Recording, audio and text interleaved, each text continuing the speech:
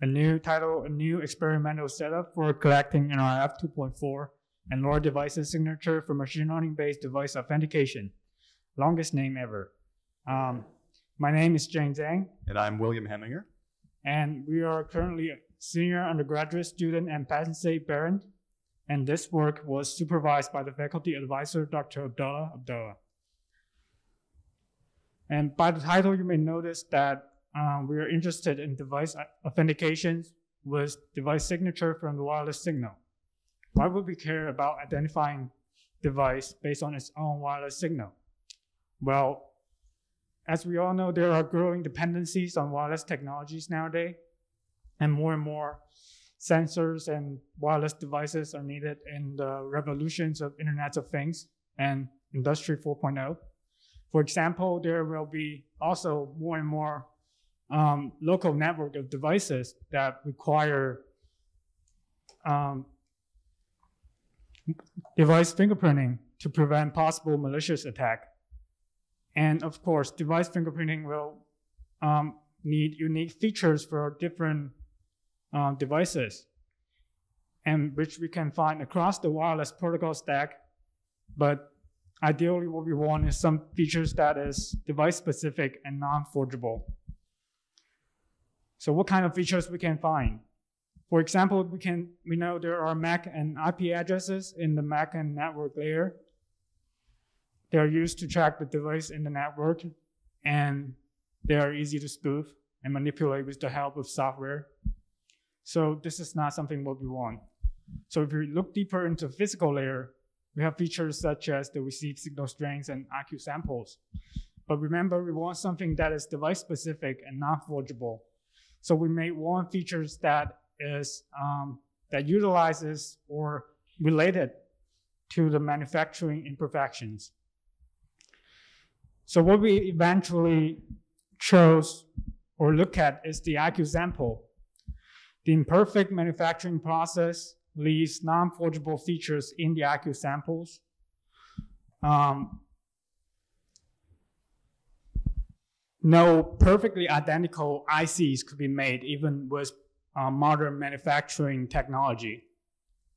The question is, could we classify them? And if you look at the figure at the lower right here for a typical transmitter chain, you can see there are various RF impairment source exist in the different stages of the chain.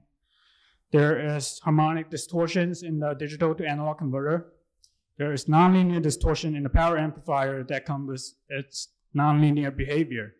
There is the most important IQ imbalance that because of the phase or amplitude error in the quadrature signal it generates. So as we all know, such imperfection exists in our devices. Um, we should be able to collect and classify this information using a similar approach as facial or fingerprint identification with the help of neural network or another possible machine learning techniques. So to collect the, idea, uh, the desired IQ samples, software-defined radio naturally becomes our very first option because of its extreme level of configurability, allowing us to collect um, data for different kinds of RF devices for future processing. So let's look at what we did in this summer.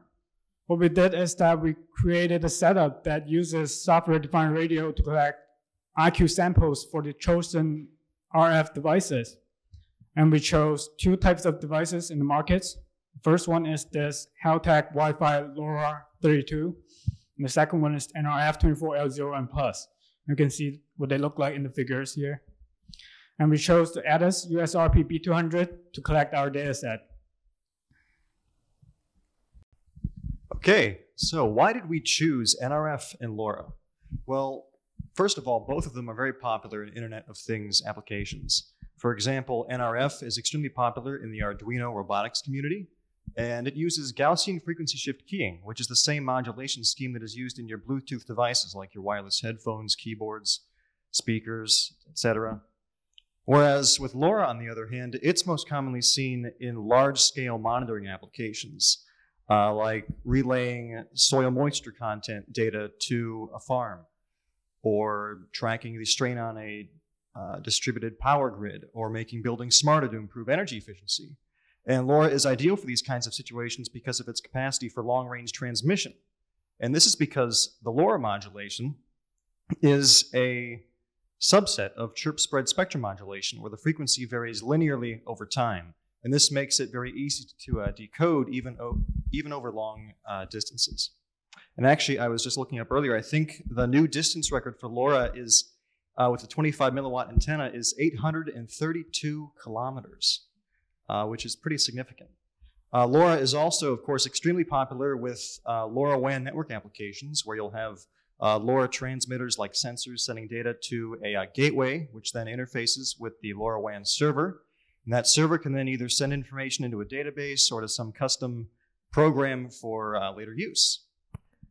Uh, we see here that the NRF devices operate in the 2.4 gigahertz to 2.525 gigahertz range, uh, whereas with the LoRa's, they're in the megahertz range, most commonly seen in these four distinct bands.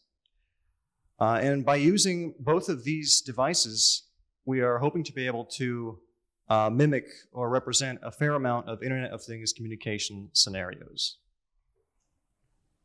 So regarding the configurations for our devices, we tried to provide um, optimal communications conditions uh, using the provided device settings. So for the frequencies, we chose frequencies that are recommended for the respective device's use. We also set the transmission power to the maximum possible level for that device. So for the LoRa devices, that value was 20 dBm, whereas for the NRFs, that was 0 dBm. Uh, and to ensure consistency, we made sure that the preamble should be static because we want to use the preamble uh, for device fingerprinting. So we want to analyze that specific segment. Uh, anything else to mention here? Anything else to mention here? Is that it? We good here? Okay. All right, that's good. Moving on with our actual experimental setup, you can see that we have two Raspberry Pi computers. They're interfacing with the NRF devices uh, using C and C++ programs. We also have our Ettus USRP B200 software-defined radio uh, that is using uh, GNU radio, and that's interfaced with a, an Ubuntu 18.04 laptop. And the reason why we are using a receiver and not just the B200 on its own is so that we can quickly uh, verify and validate the data, each data collection trial. Because the NRF and LoRa devices are on very, fairly common frequencies, it's possible that our data set could be corrupted by interference from some unknown source, and that will easily register immediately on our receiver, and so we'll know not to include that specific trial in our data set.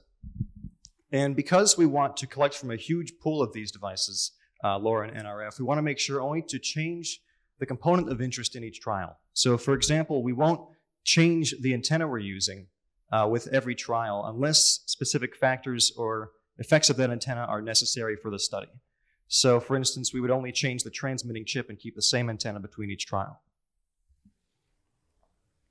So with our physical setup, on the left we have the NRF modules, and on the right we have the LoRa modules.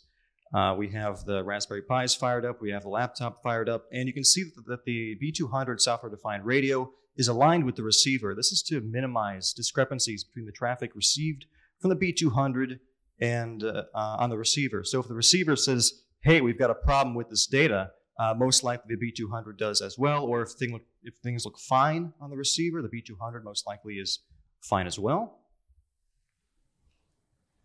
And we are approaching the end of our presentation, but uh, moving forward, uh, this is still ongoing work, so we hope to publish data sets uh, using different variations of transmission parameters, one of which being the transmission power, uh, bandwidth, etc. And we also hope to uh, begin incorporating machine learning classification uh, into our device signatures, so actually being able to classify what each device fingerprint is, and also to just explore different applications for device signature and device fingerprinting in Internet of Things. Um, so it's really interesting, uh, especially as Zheng mentioned before with security, uh, the types of uh, ways this can be implemented and the different applications that it's used for, um, and especially now that uh, we're more interconnected than ever and online and over wireless networks, um, our credentials are really very important. So our last slide, we want to thank you for having us here. Again, we're undergraduate students, so this is a really uh, impressive conference to attend, and it's been really wonderful uh, seeing all of your presentations as well. Uh, if you want to see our work, we have our GitHub link uh, down below. Also, uh, our contact information isn't listed here, unfortunately, but you can contact us. You can reach out to us personally. Uh, while we're here, we'll be here until Thursday. And if you want to see our poster, it is in, again, the uh, exposition hall where uh, the food is for lunch. Uh, so we should all know where that is. And I believe that is all that we have. So thank you again. Thank you very much.